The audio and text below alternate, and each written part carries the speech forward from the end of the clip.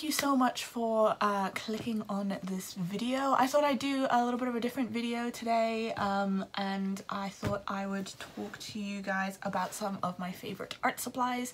I know that this is uh, videos that I like to watch quite a lot on YouTube so hopefully you guys will find this interesting as well. Um, and because I use quite a lot of different art supplies I'm going to be splitting uh, these videos up so there'll be like a little series and to start off with I thought I would start with the one thing uh, which I can be a little bit fussy about um, and which I think is super important and that is paper. So this is a little bit also like a sketchbook review slash uh, my favorite art supplies. Um, so yeah, so let's just dive into it, shall we? First off, I just wanted to say that I've only started keeping sketchbooks from this year. It was actually a business goal of mine for me to keep one sketchbook and start and finish it within the year. Uh, and as you can see, I have far surpassed that. Uh, now I've not finished all of these sketchbooks, but I'm pretty darn near close to quite a few of them. Um, so let's just get started. I'm gonna start with the first sketchbook brand which I bought, which is actually two sketchbooks in one. Uh, so this is the very first one that I bought. Uh, it is an A4, um, just regular paper. Uh, I think it's like 170 GSM, doesn't even tell me. Um, but it's from ArtGecko. And I just bought these, uh, I think on Amazon even, uh, as thinking that I would be able to get through this in a year. Um, and it's nice, it's nice paper. It's nothing too fancy. It's definitely um, like quite flimsy in terms of paper. So I've only used this for ink drawings, but it was kind of keeping these which got me into sketchbooks, which I am really thankful for. Um, this was, uh, as I said, the very first one. So this was an A4. And then I booked in on my very first wildlife drawing class uh, with my friend Natal. And I had to take a sketchbook or some paper with me. And I didn't want to take this big bulky sized A4 one with me so I bought an A5 one instead. Actually really liked this size um, quite a lot uh, and actually have ended up finishing using this one uh, and I still have a few pages to go left in this one because I've just swapped to using A5. I just prefer the size of it. Um, it means I can just sort of chuck it in my bag and go with it and I've always got a sketchbook with me and so uh, yeah I just prefer using these. I did also try in the sketchbook using um, my watercolor pencils and it did buckle the paper a bit. I can't tell if you can tell there and also my pro markers uh, which did bleed through but I think that's fairly standard of any um, sketchbook paper. I don't think you're ever going to get anything that like doesn't bleed through. Um, but uh, so I would suggest that if you did want to get the sketchbook that you only draw on one side and leave the back side blank. Um, it's nice paper, it's good quality, it scans really nicely. I really like the sketchbook, it's a nice little, uh, if you're just doing line drawings, nice little sketchbook to have. Um, and pretty cheap as well, which uh, is always quite nice if you're on a bit of a budget. The next sketchbook I have for you guys is um, one of my favorites. It is this one. This is the Sea Bright, Seawhite um, of Brighton's sketchbook. This was actually a brand that was recommended to me by my friend Sophie um, from Sophmog. Uh, she used this uh, brand for her uh, 100 uh, days of flora and fauna illustrations that she did um, for the 100 day project and I noticed that she was using it a lot with watercolor and gouache and I wanted to find a sketchbook that I would be able to do the same in so I asked her if she wouldn't mind sharing the brand. Um, it's a really nice sketchbook. Um, the paper is really lovely and thick it also folds out flat really nicely, which um, when you're drawing out on the go just makes it so much easier. Um, I actually ended up only using watercolor on one page for this sketchbook but it did dry really really flat which I was really impressed with and I would definitely be getting this again for watercolors um, and gouache and ink work because the paper seems to handle it really really well. Absolutely one of my favorites. I wish I had done more color work in this and I will be buying myself another one pretty soon because I'm almost out of spare sketchbooks actually. The next one that I have for you is, is a Daler Rowney multimedia pad. I bought this one because I wanted to try mixed media um, paper and it did say at the top that it was suitable for pencils, paints, inks, charcoal, and it's acid free. Uh, and it was A5 as well, and I didn't have one that flipped um, this way around, although I suppose I could have done it with the Seawhite or Brighton's. Um, it just felt more natural, and because of the nature of my work, I thought I'd try working with it in portrait for a little bit and see how that works. Um, and yeah, I was really happy with this. As you can see, I used a lot of color in the sketchbook. I like to theme my sketchbooks, so this sketchbook was the one where I started you doing my Animals on Shape series, um, and then I kind of continued that through um, for a lot of the sketchbook. Uh, I find that that just helps me when I'm feeling stuck and I don't know what to draw. Uh, if I have a theme sketchbook, then I'm a little bit like, okay, um, let's think about what animal on shape we can draw today. So yeah, really happy with the sketchbook. Used my Posca paint markers on here as well, and it handled it really, really well. Really thick paper. It is 250 GSM um so it's not it's yeah it's pretty good. Uh and it's also quite a lot of pages. It's 30 pages. Um again i wouldn't uh draw on both pages. As some markers do bleed through and I found that this was especially true with the pro markers. Not so much with the Tombows uh, but the pro markers for sure uh, definitely bleed through so just be aware, it's always worth double checking your paper um, with like a little tester either on the very first or the very back page just to see whether or not it will bleed through.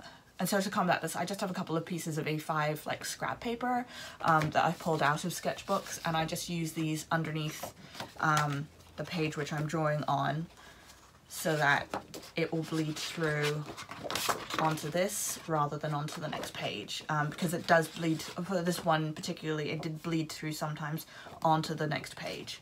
Um, so yeah the little couple of pieces of scrap paper are always handy to have that. Um, you can see where like it's caught the ink before it came through so always useful. Um, but yeah other than that really nice sketchbook. The only thing I really didn't like about it is that it's a soft cover as opposed to a hard cover and I found that um, sometimes when I was throwing it in my bag uh, I had to be careful to make sure that the cover didn't um, get, get scrunched up or anything because I was worried about the paper underneath. Um, the paper itself is actually better quality I think than the cover. Um, so it probably would have been fine but uh, it just made me a little bit worried. And also, I've realized whilst working with the sketchbook that actually I really don't like ring binder sketchbooks that much because there's a lot of movement here in the rings and when you're drawing it can really sort of like your page has got a lot of movement in it um, and that can be really really frustrating um, so I actually found whilst using this that I don't like these ring binder ring spiral sketchbooks. I pref much prefer um, to have like a fixed spine sketchbook instead.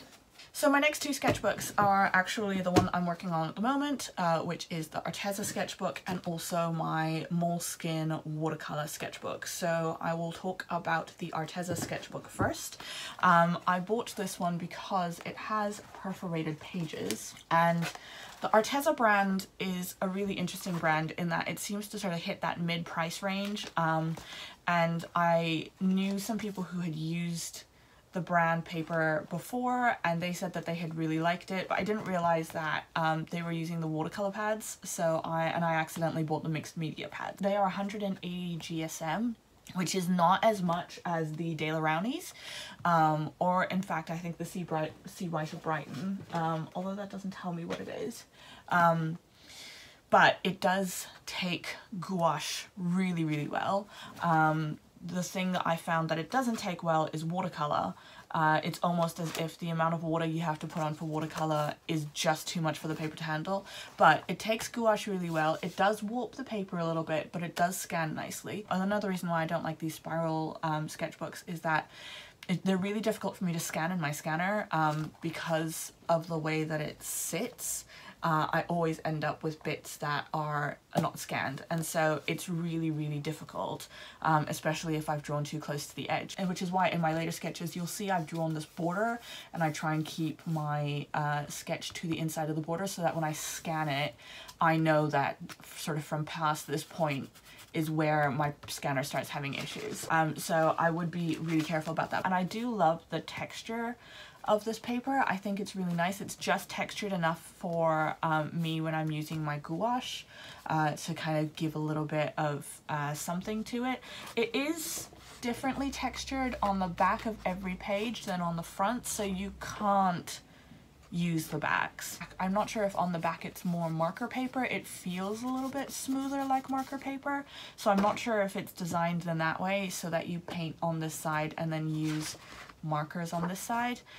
I only used um, markers, my pro markers once um, in this sketchbook and it did bleed through quite badly. But I wonder if I should have used it on this side as opposed to this side because the markers did tear up the paper quite a lot on this kind of rougher, more textured side. Um, so I feel like on this side it would have been much better. I have another one of these sketchbooks. I might play around with it and do the next one um, backwards and use it as a marker sketchbook. I haven't decided yet, uh, but again, love this sketchbook, really nice size. The only thing I wish is that I wish that it wasn't a spiral bound sketchbook. Um, I love that you can perforate, it's got perforated pages so that you can pull out your illustrations, which would make it a lot easier for scanning, um, but the thing with that is that then I would have to store all of those somewhere and I just find it so much easier to keep all my sketches in a sketchbook because I remember where sketches are in sketchbooks um, as opposed to having like random pieces of paper all over uh, my studio because as you can see my studio is pretty full as it is. Other than that it's a really really nice sketchbook and I really enjoyed using it. So the last brand, sketchbook brand, uh, that I'm going to talk to you guys about is Moleskine. um, and obviously Moleskine is I guess like the the granddaddy of all sketchbooks. Um, this is an A4 watercolor sketchbook, uh, but I actually got the sketchbook before I started my business. So this was a sketchbook where I didn't keep it, um, where I didn't consistently draw and I decided that I needed to get better at consistently drawing. This is also the sketchbook where I did my first ever gouache illustration. So it's always going to be really, really special because of that. Uh, so with the sketchbook, like all my others, I've only been painting on one side of the paper. Um, and that's because I found that when I scan it, if, I've if I scan uh, the bunny, for example, with the flying fox behind it, my scanner does pick up the flying fox, so I'm worried that if I was to paint on both sides of the paper that it would pick up um, the shadows of whatever I painted on the first page on the second page, if that makes sense. As frustrating as it is, because I feel like I'm wasting the paper, I just think that it's better in the long run.